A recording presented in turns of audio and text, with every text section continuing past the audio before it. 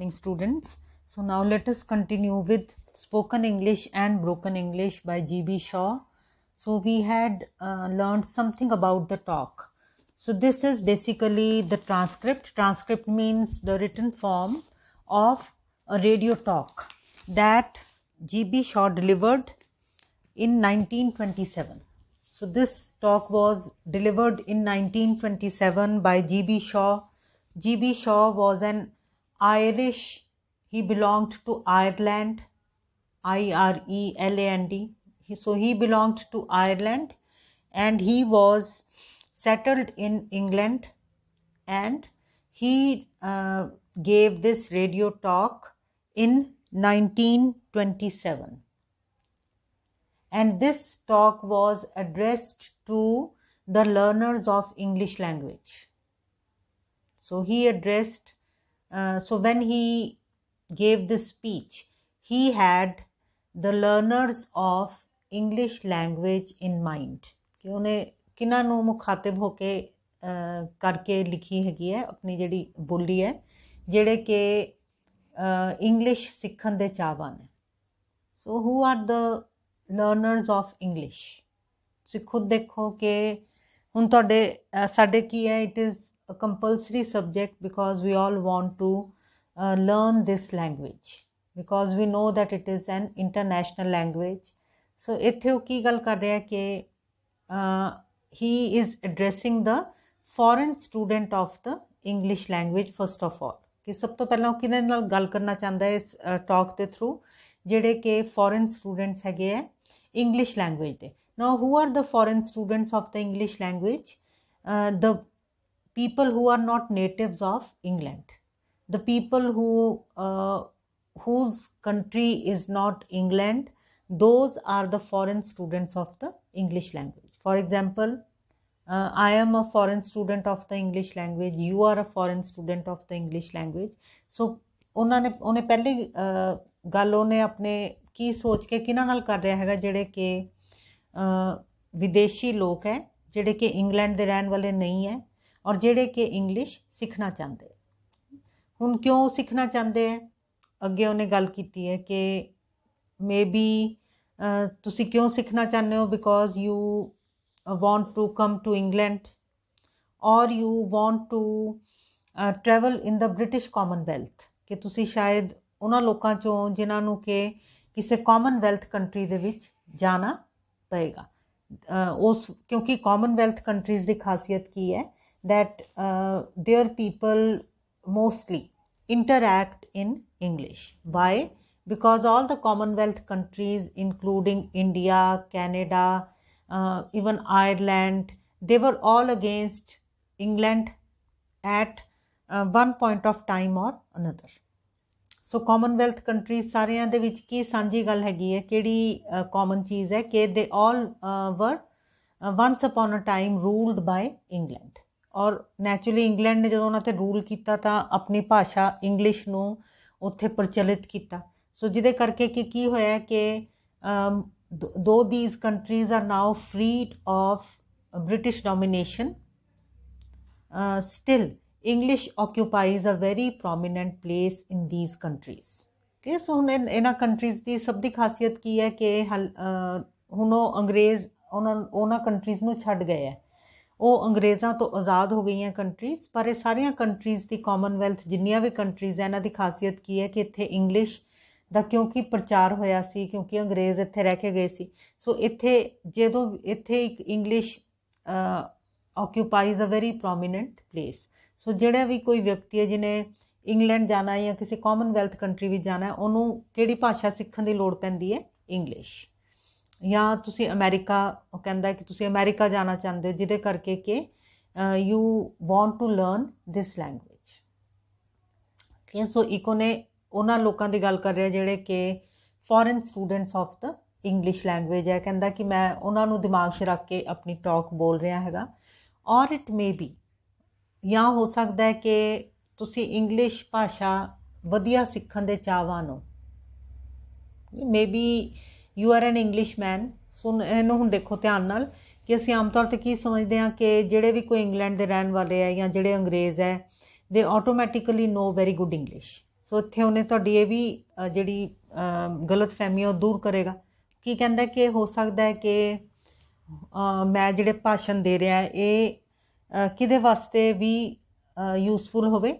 ਜਿਹੜਾ ਕਿ ਦੇਖੋ ਥਰਡ ਲਾਈਨ ਮੈਂ ਦੇਖੋ ਇਥੋਂ ਦੀ or it may be that you are yourself a native native means ਜਿਹੜਾ ਕਿ ਇੰਗਲਿਸ਼ਮੈਨ ਹੈ ਜਿਹੜਾ ਕਿ ਇੰਗਲੈਂਡ ਦਾ ਵਸਨੀਕ ਹੈ ਜਿਹੜਾ ਕਿ ਅੰਗਰੇਜ਼ ਹੈ ਸੋ ਕਹਿੰਦਾ ਇਹ ਵੀ ਹੋ ਸਕਦਾ ਹੈ ਕਿ you or it may be that you are yourself a native but that you speak in a provincial or cockney dialect of which you are a little ashamed so ਕਹਿੰਦਾ ਇਹ ਵੀ ਹੋ ਸਕਦਾ ਕਿ you are yourself uh, an Englishman, but you speak in a provincial dialect now provincial dialect ਦਾ ਮਤਲਬ ਕੀ ਹੈ ਕਿ ਕਿਸੇ ਖਾਸ ਪ੍ਰੋਵਿੰਸ ਦੀ, ਕਿਸੇ ਖਾਸ ਜ਼ਿਲ੍ਹੇ ਦੀ ਭਾਸ਼ਾ ਤੁਸੀਂ ਕੋਈ ਖਾਸ ਖੇਤਰ ਦੀ ਭਾਸ਼ਾ ਬੋਲਦੇ ਹੋ। ਡਾਇਲੈਕਟ ਦਾ ਮਤਲਬ ਹੀ ਕੀ ਹੁੰਦਾ ਹੈ? ਖੇਤਰੀ ਭਾਸ਼ਾ। For example Punjabi is a language ਤੇ ਜਿਹੜੀ ਮਾਝੇ ਦੀ ਪੰਜਾਬੀ ਹੈ ਜਾਂ ਜਿਹੜੀ ਦੁਆਬੇ ਦੀ ਪੰਜਾਬੀ ਹੈ, ਉਹ ਕੀ ਹੈ? ਡਾਇਲੈਕਟ ਹੈ। ਸੋ ਡਾਇਲੈਕਟ ਦਾ ਮਤਲਬ ਹੀ ਕੀ ਹੁੰਦਾ ਜਿਹੜੀ ਕਿ ਲੈਂਗੁਏਜ ਜਿਹੜੀ ਕਿ ਵੈਰਾਈਟੀ ਕਿਸੇ ਖਾਸ ਖੇਤਰ 'ਚ ਬੋਲੀ ਜਾਂਦੀ ਹੈ, ਉਹਨੂੰ ਆਪਾਂ ਕੀ ਕਹਿੰਦੇ ਆ ਡਾਇਲੈਕਟ ਸੋ ਪੰਜਾਬੀ ਆਪਾਂ ਬੋਲਦੇ ਆ ਤੇ ਜਿਹੜੀ ਪੰਜਾਬੀ ਹੁਣ ਹਰ ਪੰਜਾਬੀ ਦੀ ਵਿਵਨ ਕਈ ਵੈਰਾਈਟੀਆਂ ਹੈ, ਮਾਝੇ 'ਚ ਲੋਕੀ ਹੋਰ ਤਰ੍ਹਾਂ ਬੋਲਦੇ ਆ, ਦੁਆਬੇ 'ਚ ਹੋਰ ਤਰ੍ਹਾਂ ਬੋਲਦੇ ਆ, ਮਾਲਵੇ 'ਚ ਹੋਰ ਤਰ੍ਹਾਂ ਬੋਲਦੇ ਉਹ ਸਾਰੀਆਂ ਕੀ ਹੈਗੀਆਂ? ਆਲ ਥੀਸ ਆਰ ਡਾਇਲੈਕਟਸ ਹੁਣ ਕੋਕਨੀ ਡਾਇਲੈਕਟ ਕਿਹੜੀ ਹੈਗੀ ਹੈ? ਦੇਖੋ it is given at the end of your chapter ਜਿੱਥੇ ਗਲੋਸਰੀ ਹੈਗੀ ਹੈ, ਦੇਖੋ ਪੇਜ ਨੰਬਰ 59 ਦੇਖੋ, ਕੋਕਨੀ ਕੀ ਹੈ? London dialect of English now, what is the meaning of london dialect of english? London dialect of english simply means ਜਿਹੜੀ ਕਿ English ਦੀ ਜਿਹੜੀ ਫਾਰਮ ਇੰਗਲਿਸ਼ ਦੀ ਜਿਹੜੀ ਵੈਰਾਈਟੀ ਲੰਡਨ ਦੇ ਵਿੱਚ ਬੋਲੀ ਜਾਂਦੀ। ਮਤਲਬ ਜਿਹੜੀ ਲੰਡਨ ਦੀ ਖੇਤਰੀ ਅੰਗਰੇਜ਼ੀ ਹੈ। ਉਹਨੂੰ ਆਪਾਂ ਕੀ ਕਹਿੰਦੇ ਹੈਗੇ ਆ? ਕੋਕਨੀ। ਸੋ ਕੀ ਕਹਿੰਦਾ ਕਿ ਹੋ ਸਕਦਾ ਹੈ ਕਿ ਤੁਸੀਂ ਹੈਗੇ ਹੋ ਅੰਗਰੇਜ਼, ਪਰ ਤੁਸੀਂ ਕਿਉਂਕਿ ਆਪਣੀ ਖੇਤਰੀ ਅੰਗਰੇਜ਼ੀ ਬੋਲਦੇ ਹੋ, ਜਿਹਦੇ ਕਰਕੇ ਕਿ ਤੁਹਾਨੂੰ ਕੀ ਲੱਗਦਾ ਹੈ ਕਿ ਸਾਡੇ ਵਿੱਚ ਕੋਈ ਕਮੀ ਹੈ? ਸੋ ਜਿਹਦੇ ਕਰਕੇ ਕਿ ਤੁਸੀਂ ਵਧੀਆ ਅੰਗਰੇਜ਼ੀ ਸਿੱਖਣਾ ਚਾਹੁੰਦੇ ਹੋ। ਦੇਖੋ। ਔਰ ਦੇਖੋ ਥਰਡ ਲਾਈਨ ਹੀ ਮੈਂ ਦੁਬਾਰਾ ਰਿਪੀਟ ਕਰ ਰਹੀ ਹਾਂ, or it may be that you are yourself a native but that you speak in a provincial or cockney dialect of which you are a little ashamed ਕਿ ਹੋ ਸਕਦਾ ਤੁਸੀਂ ਅੰਗਰੇਜ਼ ਹੋਵੋ ਪਰ ਤੁਸੀਂ ਜਿਹੜੀ ਖੇਤਰੀ ਭਾਸ਼ਾ ਖੇਤਰੀ ਅੰਗਰੇਜ਼ੀ ਬੋਲਦੇ ਹੋ ਉਤੋਂ ਤੁਸੀਂ ਥੋੜੇ ਜਿਹਾ ਸ਼ਰਮਿੰਦਾ ਹੋ ਤੁਹਾਨੂੰ ਕੀ ਲੱਗਦਾ ਕਿ ਮੈਨੂੰ ਬਹੁਤ ਵਧੀਆ ਮੇਰੀ ਅੰਗਰੇਜ਼ੀ ਨਹੀਂ ਹੈ ਔਰ ਇਹਦੇ ਕਰਕੇ ਮੈਨੂੰ ਜੌਬ ਨਹੀਂ ਵਧੀਆ ਮਿਲ ਸਕਦੀ or which perhaps prevents you from obtaining some employment which is open to those only who speak what is called correct English so ਕਹਿੰਦਾ ਕਿ ਹੋ ਸਕਦਾ ਕਿ ਤੁਸੀਂ ਅੰਗਰੇਜ਼ ਹੋ, ਪਰ ਤੁਸੀਂ ਕਿਉਂਕਿ ਖੇਤਰੀ ਭਾਸ਼ਾ, ਖੇਤਰੀ ਅੰਗਰੇਜ਼ੀ ਬੋਲਦੇ ਹੋ, ਜਿਹਦੇ ਕਰਕੇ ਕਿ ਤੁਹਾਨੂੰ ਕਈ ਵਾਰੀ ਜੌਬ ਵੀ ਵਧੀਆ ਨਹੀਂ ਮਿਲਦੀ, ਜਿਹੜੀ ਕਿ ਕਿਹਨਾਂ ਵਾਸਤੇ ਖੁੱਲੀ ਹੋਈ ਹੈ ਨੌਕਰੀ, ਜਿਹੜੀ ਕਿ, ਜਿਹੜੇ ਕਿ ਕਰੈਕਟ ਇੰਗਲਿਸ਼ ਬੋਲਦੇ ਆ I hope this much is clear ਹੁਣ ਅੱਗੇ ਦੇਖੋ। Now whether you are a foreigner or native so ਆਪਣੀਆਂ ਤੁਸੀਂ ਬੁੱਕਸ ਇੱਕ ਤਾਂ ਆਪਣੇ ਸਾਹਮਣੇ ਬਿਲਕੁਲ ਰੱਖੋ। ਔਰ ਉਹਨਾਂ ਤੋਂ ਪੜੋ ਤਾਂ ਪੇਜ ਨੰਬਰ 57 ਤੋਂ ਮੈਂ ਬੋਲ ਰਹੀ ਹਾਂ, ਦੇਖੋ ਫਰਸਟ ਹੀ ਪੈਰਾ ਹੈਗਾ। ਦੇਖੋ now whether you are a foreigner or native the first thing I must impress upon you is that there is no such thing as ideally correct English. So ਕਹਿੰਦਾ ਕਿ ਹੁਣ ਉਹਨੇ ਦੋ ਤਰ੍ਹਾਂ ਦੇ ਲੋਕ ਦੱਸੇ ਜਿਹੜੇ ਕਿ ਹੋ ਸਕਦਾ ਉਹਦੇ ਗੱਲ ਦੇ ਵਿੱਚ ਰੁਚੀ ਲੈਣ। ਉਹ ਦੋ ਤਰ੍ਹਾਂ ਦੇ ਲੋਕ ਕਿਹੜੇ ਸੀਗੇ? ਇੱਕ ਤਾਂ ਜਿਹੜੇ ਕਿ who are the foreign students of English language ਔਰ ਦੂਸਰੇ ਕਿਹੜੇ ਸੀਗੇ? Who are the native students of English language now who are the foreign students of English language ਜਿਹੜੇ ਕਿ who do not uh, whose country is not England, who do not, do not belong to England? ਜਿੱਦਾਂ ਅਸੀਂ ਹੈਗੇ ਆ ਸਾਰੇ ਕੋਈ Canada ਦਾ ਵੀ America ਦਾ ਵੀ ਕੋਈ ਹੋਰ ਆਇਰਲੈਂਡ ਦਾ ਵੀ ਹੋ ਸਕਦਾ ਉਹ ਵੀ ਕੀ ਹੈਗਾ? He is also not an English man so ਉਹ ਕੀ ਕਹਿੰਦਾ ਕਿ ਦੋ ਤਰ੍ਹਾਂ ਦੇ ਲੋਕ ਹੈ ਜਿਹੜੇ ਕਿ ਮੈਂ ਸੋਚਦਾ ਹਾਂ ਕਿ ਮੇਰੇ ਭਾਸ਼ਾ ਜਿਨ੍ਹਾਂ ਮੇਰਾ ਭਾਸ਼ਣ ਜਿਨ੍ਹਾਂ ਵਾਸਤੇ ਇੰਟਰਸਟਿੰਗ ਹੋ ਸਕਦਾ ਕੰਮ ਦਾ ਹੋ ਸਕਦਾ ਇੱਕ ਤਾਂ ਪਹਿਲੇ ਕਿਹੜੇ the foreign students of english language or ਦੂਸਰੇ ਕਿਹੜੇ ਹੈਗੇ native students of english language now who are the native students of english language the uh, people who are English man or English woman ਮਤਲਬ ਜਿਹੜੇ ਕਿ ਅੰਗਰੇਜ਼ ਹੈਗੇ ਆ but They are a little bit complexed about the language that they speak. Uh, they are a little bit complexed, they are a little bit ashamed of the language that they speak because they think that they do not speak English very correctly because uh, they speak a dialect of English. Dialect ਖੇਤਰੀ ਭਾਸ਼ਾ ਜਿੱਦਾਂ ਹੁਣ ਕਿ ਕੋਈ ਮਾਝੇ ਦੀ ਪੰਜਾਬੀ ਬੋਲੇ ਤੇ ਉਹਨੂੰ ਕੀ ਲੱਗੇ ਵੀ ਮੇਰੀ ਇੰਗਲਿਸ਼ ਲਿਟਰੇਚਰ ਵਾਲੀ, ਸਾਹਿਤ ਵਾਲੀ ਇੰਗਲਿਸ਼ ਵਧੀਆ ਨਹੀਂ ਹੈ ਕਰੈਕਟ ਇੰਗਲਿਸ਼ ਨਹੀਂ ਹੈ ਠੀਕ ਹੈ ਸੋ ਕਹਿੰਦਾ ਕਿ ਦੋ ਤਰ੍ਹਾਂ ਦੇ ਸਟੂਡੈਂਟਸ ਹੁੰਦੇ ਇੰਗਲਿਸ਼ ਲੈਂਗੁਏਜ ਦੇ, ਇੱਕ ਤਾਂ ਫੋਰਨ ਸਟੂਡੈਂਟਸ ਤੇ ਇੱਕ ਨੇਟਿਵ ਸਟੂਡੈਂਟਸ ਸੋ ਆਮ ਤੌਰ ਤੇ ਅਸੀਂ ਕੀ ਸੋਚਦੇ ਹਾਂ ਵੀ ਅੰਗਰੇਜ਼ ਸਾਰੇ ਬੜੇ ਵਧੀਆ ਅੰਗਰੇਜ਼ੀ ਬੋਲਦੇ ਆ, ਪਰ ਉਹਦੇ ਮੁਤਾਬਿਕ ਇਦਾਂ ਨਹੀਂ ਹੈ। ਕਈ ਅੰਗਰੇਜ਼ ਵੀ ਹੈ ਜਿਹੜੇ ਕਿ ਵਧੀਆ ਇੰਗਲਿਸ਼ ਸਿੱਖਣਾ ਚਾਹੁੰਦੇ ਆ। ਸੋ ਆਈ ਹੋਪ ਇੱਥੋਂ ਤੱਕ ਤੁਹਾਨੂੰ ਕਲੀਅਰ ਹੈ ਹੁਣ ਅੱਗੇ ਦੇਖੋ now whether you are ਉਹੀ ਮੈਂ ਰਿਪੀਟ ਕਰ ਰਹੀ ਹਾਂ now whether you are a foreigner or native the first thing i must impress upon you is that there is no such thing as ideally correct english so ਪਹਿਲੀ ਗੱਲ ਕਹਿੰਦਾ ਮੈਂ ਤੁਹਾਨੂੰ ਕੀ ਦੱਸਣਾ ਚਾਹੁੰਦਾ ਹੈ ਵੀ ਐਦਾਂ ਦੀ ਕੋਈ ਇੰਗਲਿਸ਼ ਹੀ ਨਹੀਂ ਹੈ ਜਿਹਨੂੰ ਜਿਹੜਾ ਕਿ ਆਪਾਂ ਕਹੀਏ ਕਿ ਇਹ ਵਿਅਕਤੀ ਬਿਲਕੁਲ ਕਰੈਕਟ ਇੰਗਲਿਸ਼ ਬੋਲਦਾ ਹੈ ਸੋ ਇਹਦੇ ਪਿੱਛੇ ਕੀ ਉਹ ਕਾਰਨ ਦੱਸਦਾ ਹੈਗਾ ਕਿ ਜਿਹੜਾ ਸਾਡਾ, ਜਿੱਥੇ ਸਾਡਾ ਜਨਮ ਹੋਇਆ ਹੁੰਦਾ ਹੈ ਜਾਂ ਜਿਹੜੀ, ਜਿਹੜੇ ਵੀ ਸਾਡੀ ਲਾਈਫ ਹੁਣ ਤੱਕ ਰਹੀ ਹੁੰਦੀ ਹੈ, ਉਹਦਾ ਇਫੈਕਟ ਕਿਦੇ ਉੱਤੇ ਆ ਜਾਂਦਾ ਹੈ? ਦ ਵੇ ਵੀ ਸਪੀਕ ਇੰਗਲਿਸ਼ ਸੋ ਜਿਹਦੇ ਕਰਕੇ ਕਿ ਆਪਾਂ ਕਹਿ ਨਹੀਂ ਸਕਦੇ ਵੀ ਕਿਸੇ ਦੀ ਇੰਗਲਿਸ਼ ਬਿਲਕੁਲ ਕਰੈਕਟ ਹੈਗੀ ਹੈ, ਬਿਲਕੁਲ ਸਹੀ ਹੈਗੀ ਹੈ। ਫੋਰ ਐਗਜ਼ਾਮਪਲ ਜਿਸ ਤਰ੍ਹਾਂ ਜਿਹੜੇ ਇੰਡੀਆ ਤੋਂ ਜਾਣਗੇ, ਹੁਣ ਹੋ ਸਕਦਾ ਹੈ ਕਿ ਉਹ ਬਹੁਤ ਵਧੀਆ ਇੰਗਲਿਸ਼ ਬੋਲਦੇ ਹੋਣ।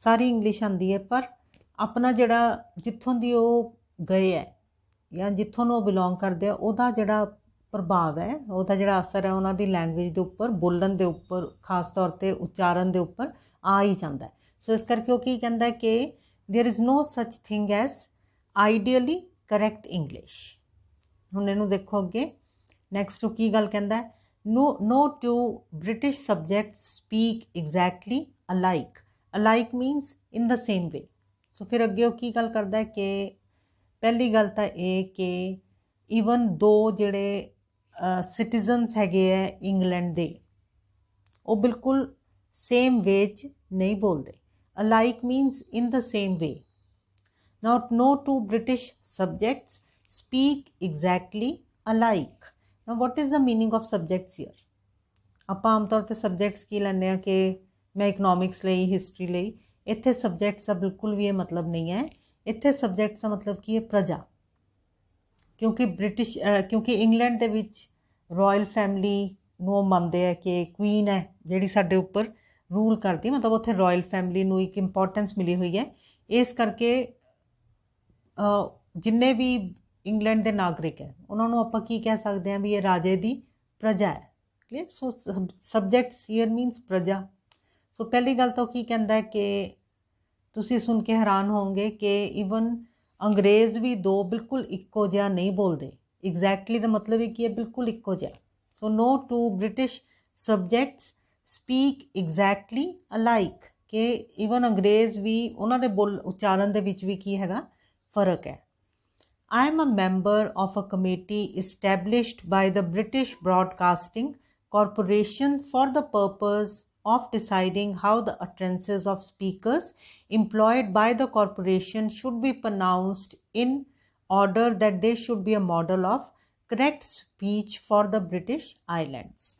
ਸੋ ਪਹਿਲੀ ਗੱਲ ਉਹ ਕੀ ਕਹਿੰਦਾ ਹੈ ਕਿ ਮੈਂ ਕਿਹਦਾ ਮੈਂਬਰ ਹੈਗਾ British Broadcasting Corporation now British Broadcasting Corporation ਦੀ ਆਪਾਂ ਆਮ ਤੌਰ ਤੇ ਇਹਨੂੰ BBC ਦੇ ਨਾਮ ਤੇ ਜਾਣਦੇ ਹਾਂ ਸੋ BBC ਕੀ ਹੈਗੀ ਹੈ BBC ਇੱਕ ਰੇਡੀਓ ਸਟੇਸ਼ਨ ਸੀ ਇੰਗਲੈਂਡ ਦੇ ਵਿੱਚ ਹੁਣ ਵੀ ਹੈ ਜਿਹੜੀ ਕਿ ਜਿੱਥੇ ਕਿ ਕੀ ਮੰਨਿਆ ਜਾਂਦਾ ਹੈ ਕਿ ਉਹਨਾਂ ਦੀ ਜੇ ਕਿਸੇ ਨੇ ਇੰਗਲਿਸ਼ ਸਿੱਖਣੀ ਹੈ ਤਾਂ BBC ਸੁਣੋ ਸੋ ਵੈਨ ਵੀ ਵਰ ਯੋਰ ਏਜ ਸਾਨੂੰ ਸਾਡੇ ਟੀਚਰਸ ਹਮੇਸ਼ਾ ਕੀ ਕਹਿੰਦੇ ਸੀਗੇ ਕਿ ਜੇ ਤੁਸੀਂ ਇੰਗਲਿਸ਼ ਵਧੀਆ ਬੋਲਣੀ ਚਾਹੁੰਦੇ ਹੋ ਸਿੱਖਣੀ ਚਾਹੁੰਦੇ ਹੋ then you must listen to BBC News.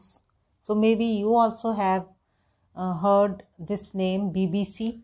ਸੋ ਕੀ ਕਹਿੰਦਾ ਹੈ ਕਿ ਹੁਣ ਜਿੱਦਾਂ ਮੈਂ ਤੁਹਾਨੂੰ ਦੱਸਿਆ ਕਿ ਸਾਡੇ ਟੀਚਰਸ ਕੀ ਕਹਿੰਦੇ ਸੀਗੇ ਕਿ ਜੇ ਇੰਗਲਿਸ਼ ਸਿੱਖਣੀ ਹੈ ਤਾਂ BBC ਸੁਣੋ। ਇਹਦਾ ਮਤਲਬ ਕਿ BBC ਦਾ ਉਚਾਰਨ ਜਿਹੜਾ ਉਹ ਬਹੁਤ ਵਧੀਆ ਹੋਏਗਾ। ਸੋ ਕੀ ਕਹਿੰਦਾ ਕਿ ਮੈਨੂੰ ਇੱਕ ਕਮੇਟੀ ਦਾ ਮੈਂਬਰ ਬਣਾਇਆ ਗਿਆ, ਜਿਹੜੀ ਕਿ BBC ਵੱਲੋਂ ਕਮੇਟੀ ਬਣਾਈ ਗਈ ਸੀ। ਔਰ ਜਿਹਦੇ ਵਿੱਚ ਕਿ ਕੀ ਸਿਖਾਣਾ ਸੀ ਕਿ ਜਿਹੜੇ BBC ਦੇ ਉੱਪਰ ਜਿਹੜੇ ਕੋਈ ਨਿਊਜ਼ ਬੋਲਣ ਵਾਲੇ ਨਿਊਜ਼ ਰੀਡਰਸ ਹੈ ਜਾਂ ਜਿਹੜੇ ਕੋਈ ਅਨਾਉਂਸਰਸ ਹੈ ਉਹਨਾਂ ਦੀ ਇੰਗਲਿਸ਼ ਠੀਕ ਕਰਨ ਵਾਸਤੇ। So now I make an end because otherwise it is very difficult to upload. So